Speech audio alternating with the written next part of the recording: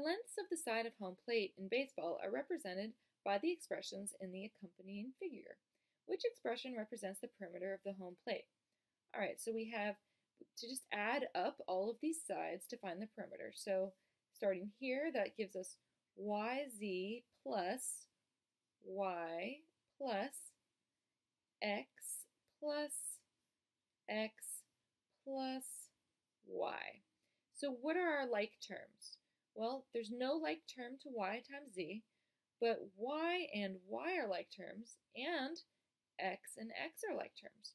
So when we add the two y's together, 1y plus 1y gives us 2y, and then we have 1x plus 1x gives us 2x.